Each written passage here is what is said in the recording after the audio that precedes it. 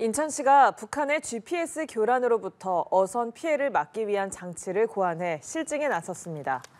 인천시는 학계 자문을 받아 제작한 GPS 전파 교란 방지 장치를 어업 지도선에 장착해 성능 실험에 들어갔다고 밝혔습니다.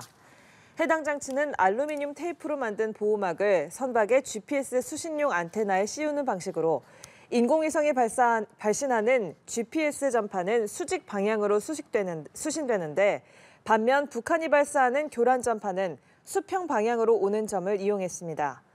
인천시는 성능 실험이 성공하면 한 척당 2만 원대 재료로 전파 교란 피해를 예방할 수 있을 것으로 기대했습니다.